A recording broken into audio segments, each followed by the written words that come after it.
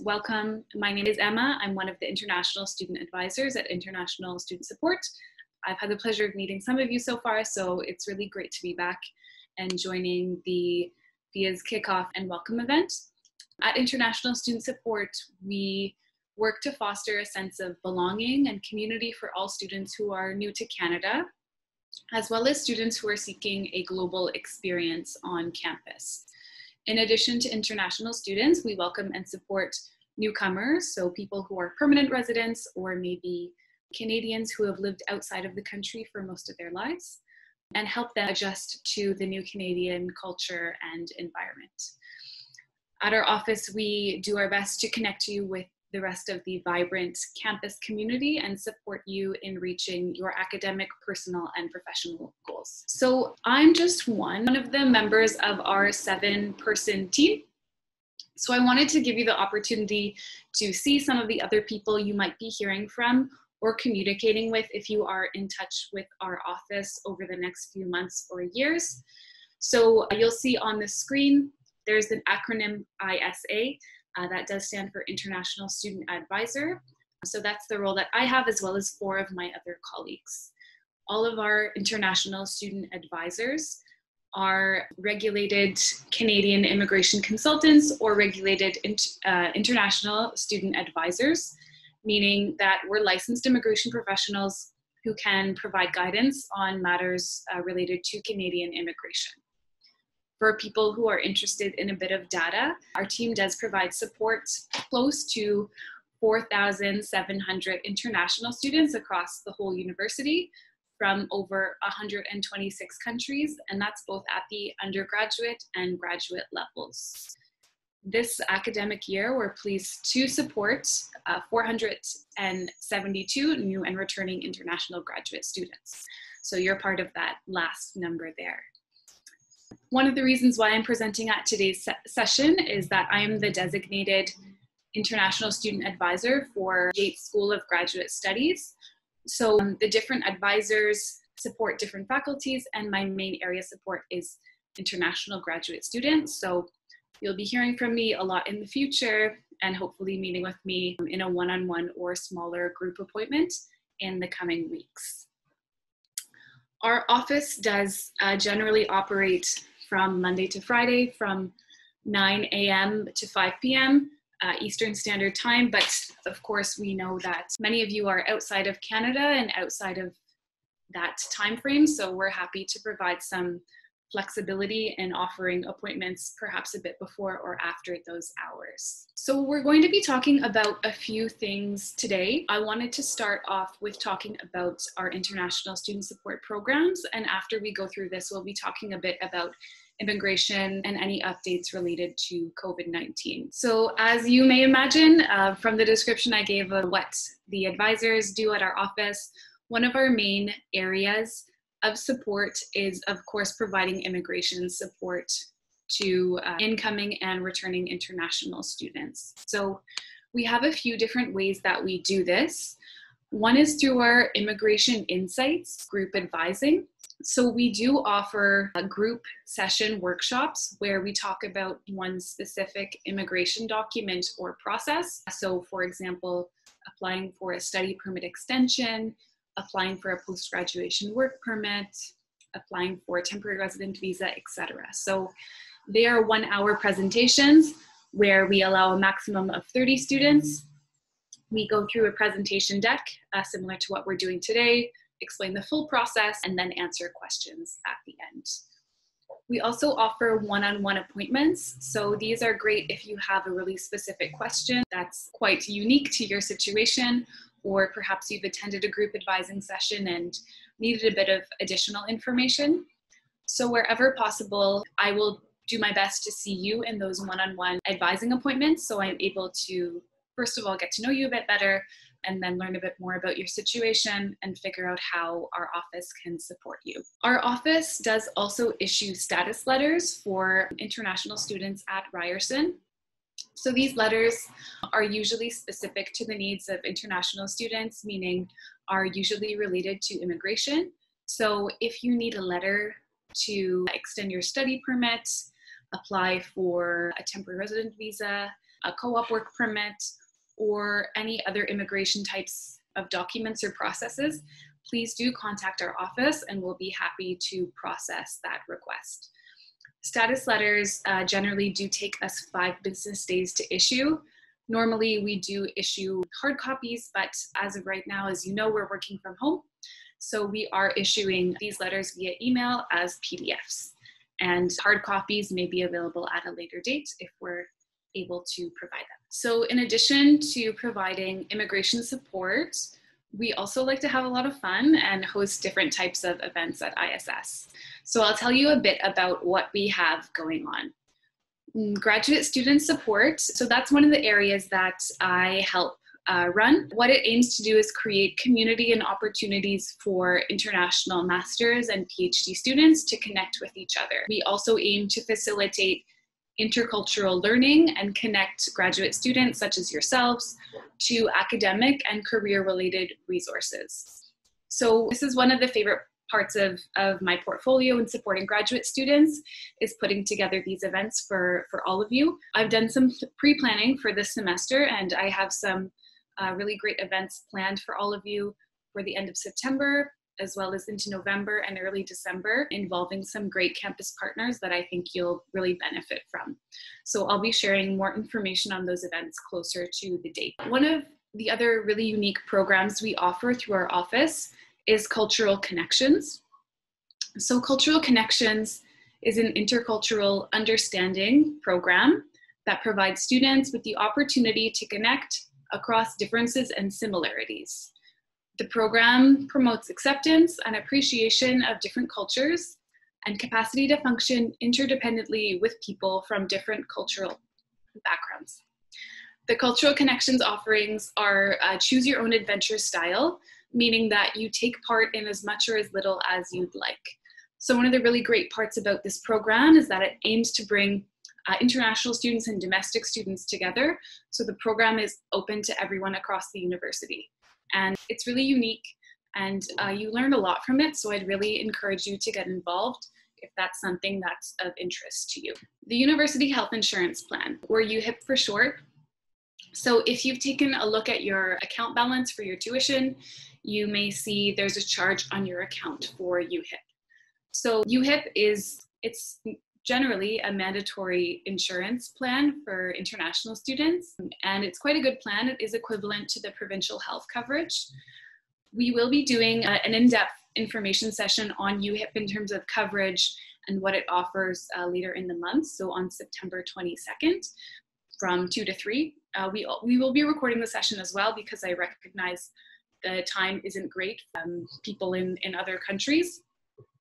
But uh, something I did want to mention is that if you will not be able to physically come to Canada in the fall semester because of travel restrictions, you will be able to defer your UHIP fees to the winter 2021 semester. So what that means is that we have a request form um, that we'll be providing you with after the presentation that you can fill out, confirm that you won't be in Canada in the fall, and we will defer your UHIP fees to the winter semester. If you are in Canada or will be in Canada, um, you do need to keep this coverage. And uh, the UHIP coverage year begins on September 1st, which is just around the corner. So after September 1st, we're able to issue your UHIP cards. Our office does administer this insurance, so we'll be able to provide you a phys- or sorry, an, an e-copy of your UHIP card if you request that from us. Normally we do print them out, but as we're working from home, we're happy to send it to you via email. In case uh, you may not know, orientation week across the university began on Monday. We normally have one orientation week, uh, but actually this year we have two. So it, uh, orientation weeks, I should say, they did start on Monday and they'll continue through this week as well as into next week. So at International Student Support, we have a lot going on. We have our Let's Talk orientation session, which is strongly recommended that you attend. There's one that's taking place actually right after this presentation, so starting at 11 a.m. There's also one taking place later this afternoon at 3 p.m. We will be recording one of these sessions uh, in case the times are not convenient to you and you'll be able to access them at a later date. So In the presentation for the Let's Talk, we'll be going more into depth about what our office provides in terms of supports, as well as provide important information about immigration compliance and go a bit more in depth about UHIP. So please do join us if you're able to. I'm going to put the, the link for the invitation into the chat because we won't have time to register you if you haven't already done so. So if you are planning on attending the Let's Talk orientation sessions today, either at 11 or 3, and you haven't registered, I've just uh, put the Zoom link and password into the chat. So don't worry about registering. You can just automatically enter the session using that link and password. And sorry, it's also the same link and password for either the 11 a.m. or the 3 p.m. session today. Another event we have coming up that I planned with all of you in mind specifically is the Grad Mixer. So that is taking place on Monday at 10 a.m. to 11 a.m. Eastern Standard Time. And what that is, it's a social event intended for all of you to meet other graduate students in different faculties. So I know that you often get the opportunity to attend events within your program and your faculty, but with things being online right now, it's much harder for you to meet students in perhaps faculty of science or faculty of communication and design.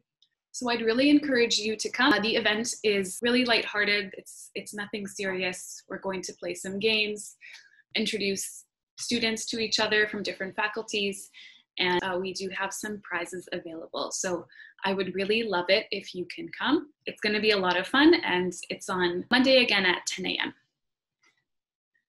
We're also hosting our annual International Student Welcome Party next Thursday. So that's September 3rd from 12 p.m. to 3 p.m. So we're having live entertainment at our event, specifically a live DJ.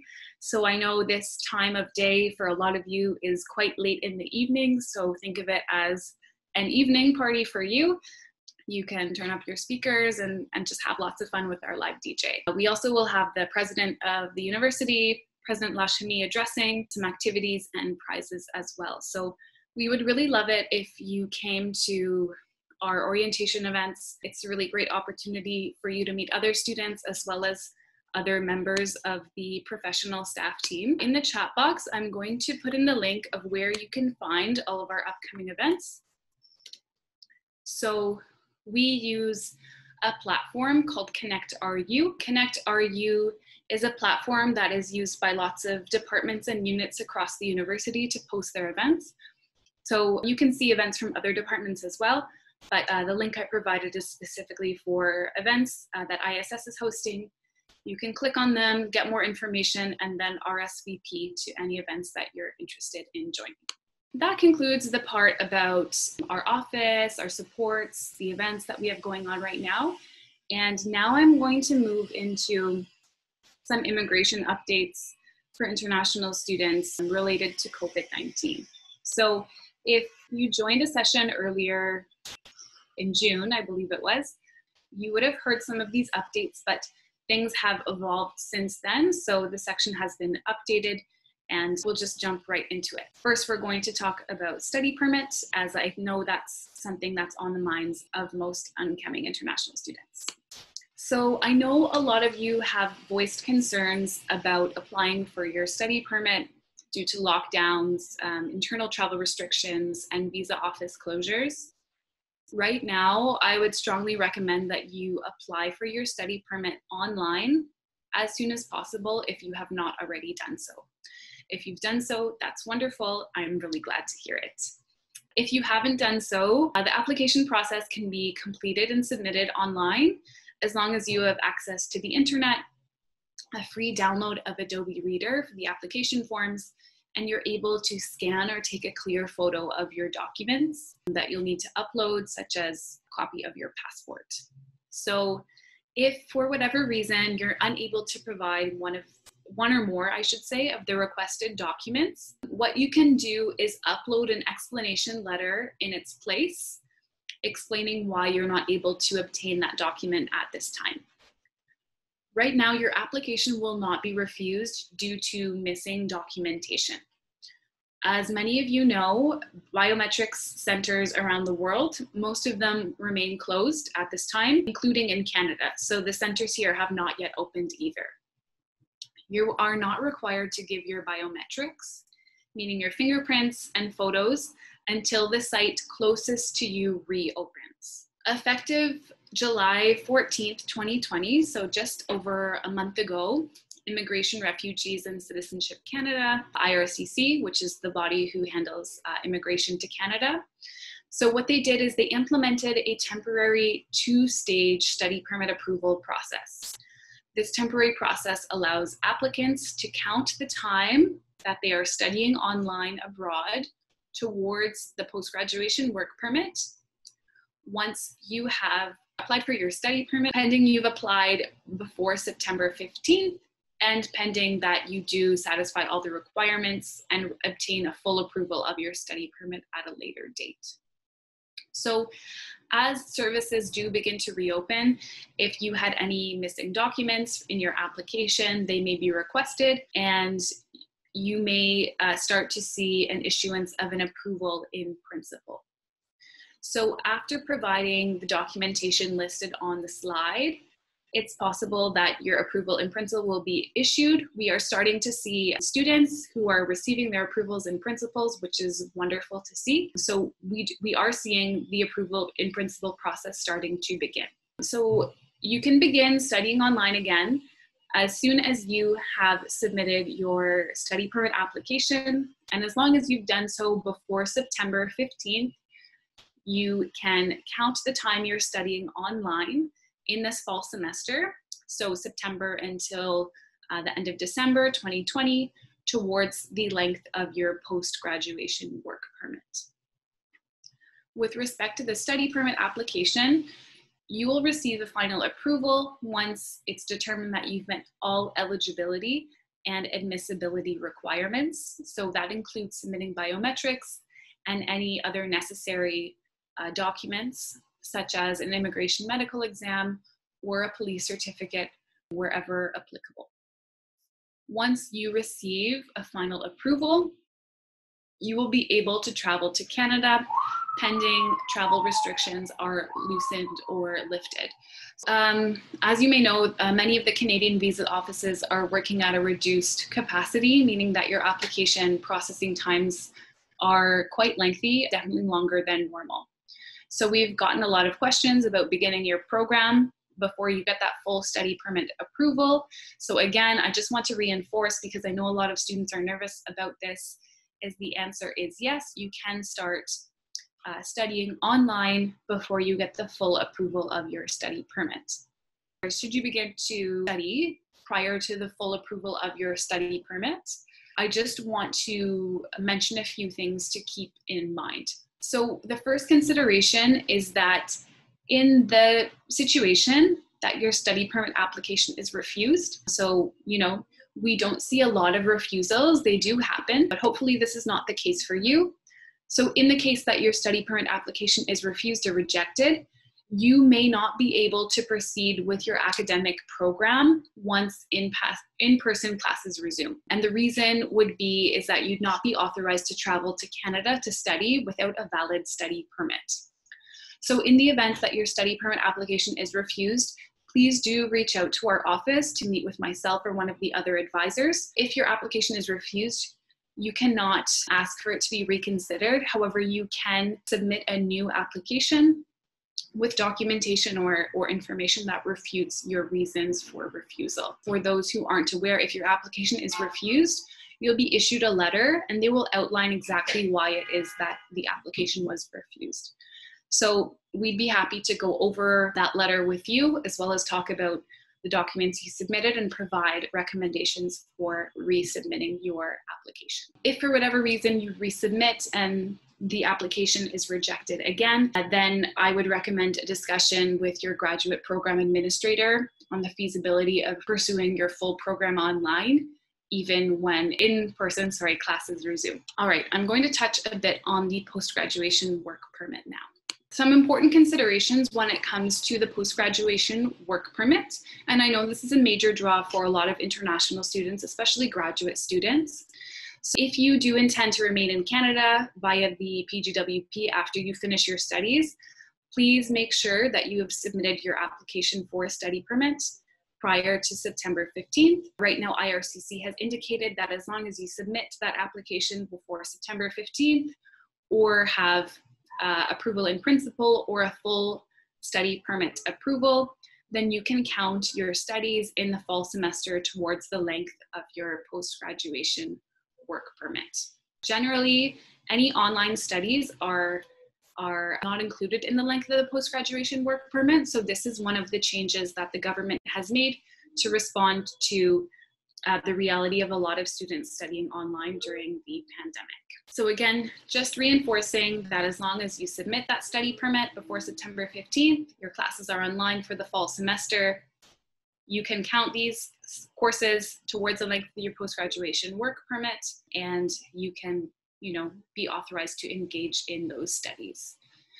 The eligibility for criteria for the post-graduation work permit so it does allow students to complete up to a maximum of 50% via distance education or online.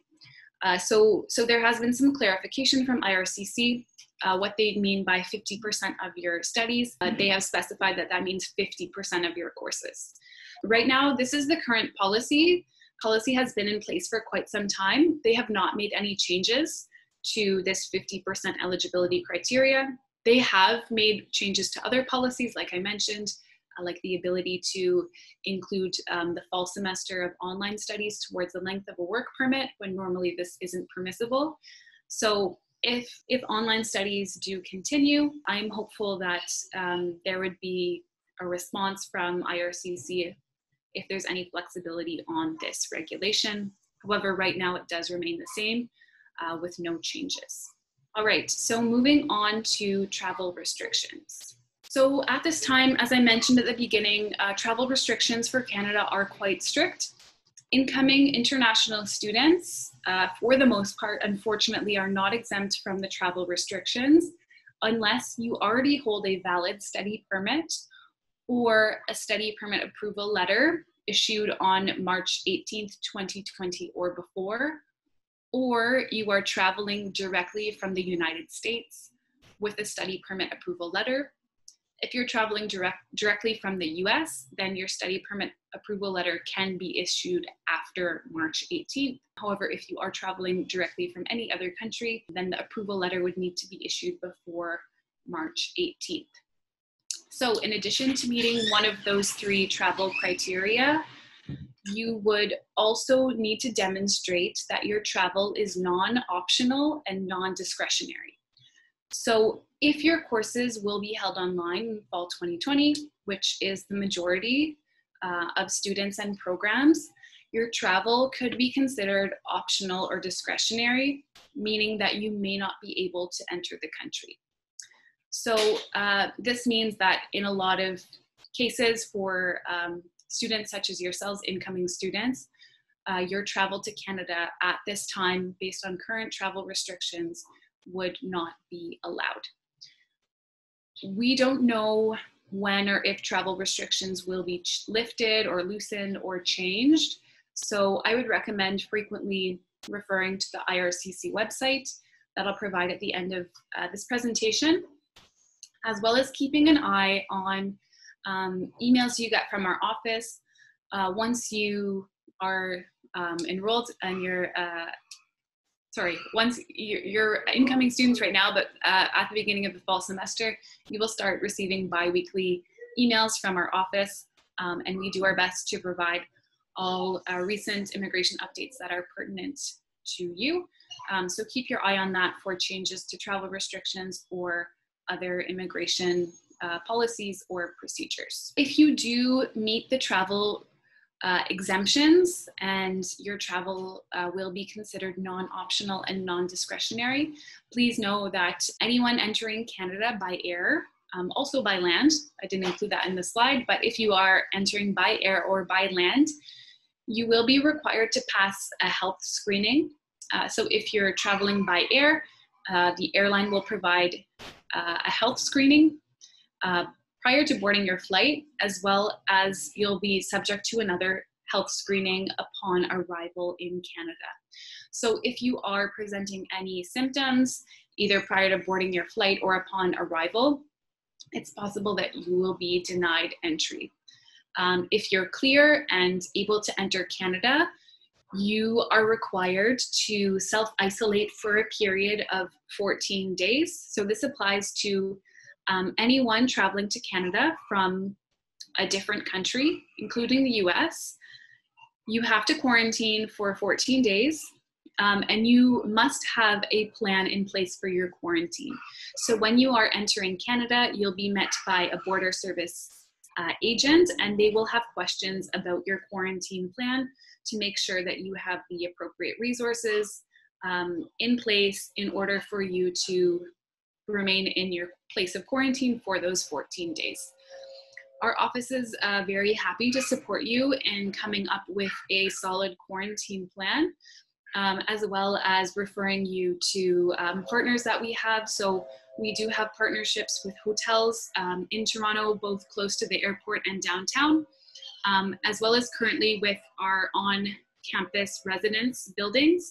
So if you do need support in coming up with a quarantine plan or securing an accommodation, um, and you will be traveling within the next few weeks, please do contact our office to let us know as soon as possible so that we're able to get the information we need from you um, and help you in, in getting prepared for your travels. So on this slide, I've included some um, useful resources that I really recommend referring to if you're seeking additional information. Um, there's a document that will be provided to you after the presentation where you can click on these resources directly. Uh, the first is our office's website. So um, just our general ISS website has a lot of information about immigration, our programs, uh, what's going on, etc. The second resource is the Student Affairs COVID-19 updates and information page. So it's on this page where we post updates um, about immigration policy in terms of changes in procedure or anything like that. So for those more quick updates um, regarding immigration, please refer to the second link.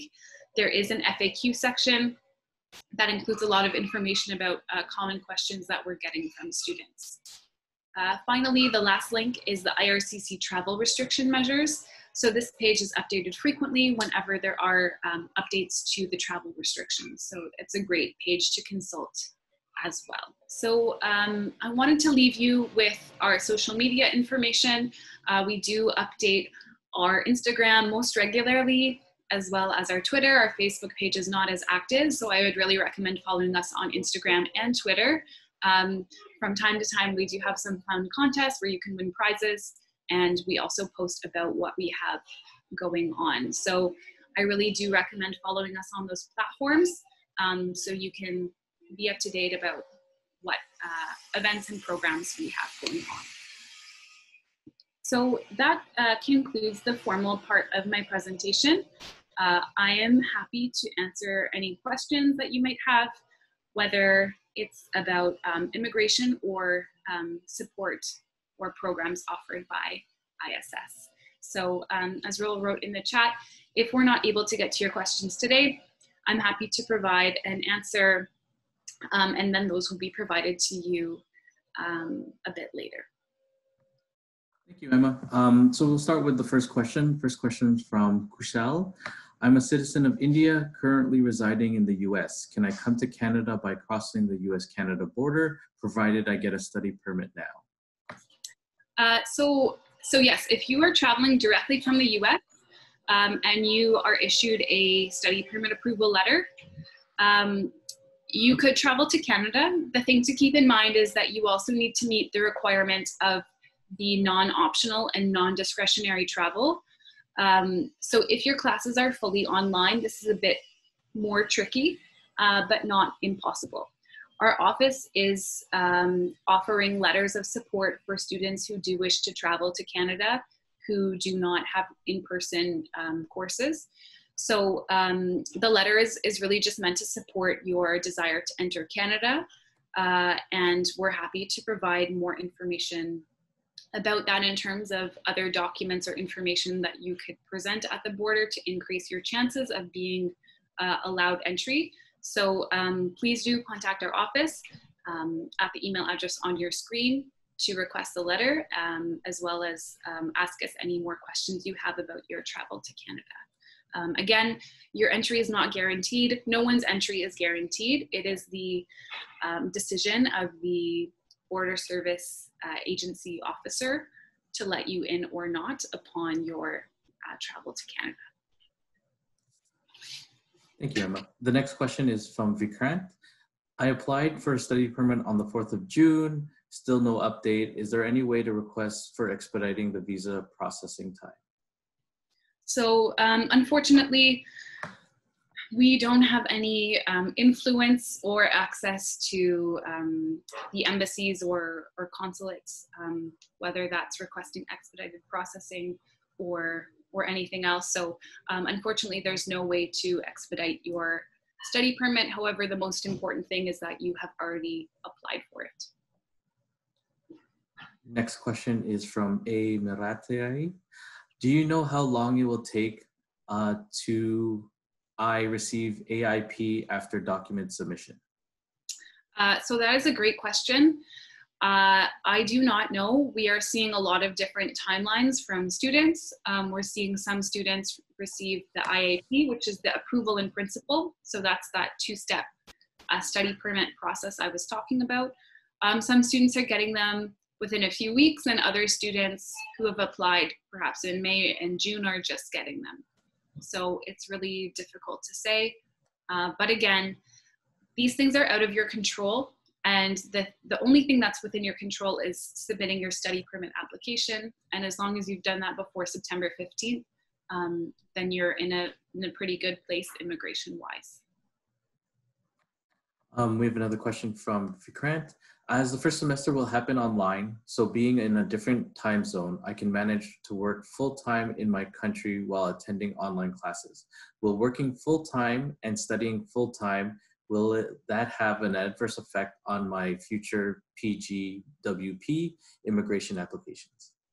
Um, I would say that it shouldn't have any effect on your future applications.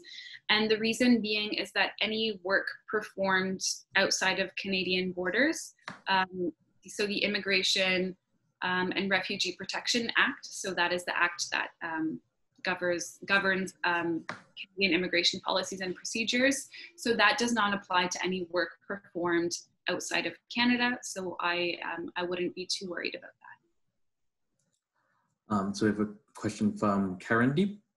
I have deferred UHIP to winter term by submitting deferral form while enrolling for core courses. UHIP charges are still reflected into my account statement. Is it adjustable later or while the fall 2020 semester starts? Yes, so um, we will be adjusting those fees in the fall 2020 semester. So um, the way it works is that UHIP is uh, automatically included in international student tuition. So it has been automatically applied to all students' tuition. And what we'll have to do is once we process the request from defer for deferral from that fee, we have to go in manually and remove that fee. Uh, so it will take a bit of time, but as long as you've completed the form and requested the deferral, then that's all the action you need to take. I have a question from Aman. Please confirm the deferral of the Ryerson University Student Union Health Plan as well as well to winter 2021 as we are being charged 340 CADZ for the uh, for that currently. Oh, uh, 340 Canadian. Yeah. yeah. So the the the Ryerson Student Union Health and Dental Plan. So it's a separate dental plan, or sorry, a separate health insurance plan. Uh, it covers different things from from UHIP. Uh, and that plan is, is not administered by our office. It is administered by the Ryerson Student Union. So I'm about to put an email address in the chat. Um, it's health at rsuonline.ca. If you have questions about opting out of that plan, then please direct them to that office. Um, our office unfortunately doesn't have any uh, part in the RSU health and dental plan.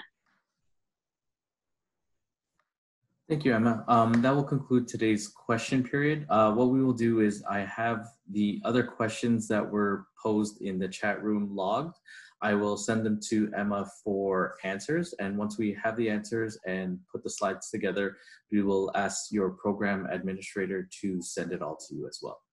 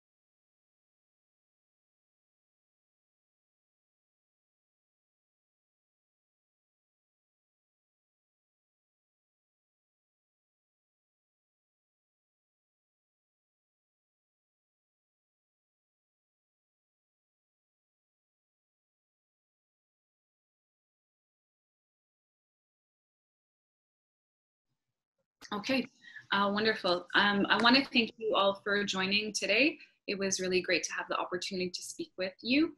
And um, I hope to see you at our um, upcoming ISS orientation events. So for those of you who are available at 11, so just in 15 minutes, we have the Let's Talk orientation session starting. And then on Monday, um, 31st at 10 a.m., we have the uh, session specifically for international graduate students to meet each other and have a bit of fun. So I would really love to see you there. Also for me to get to know you a bit better as well.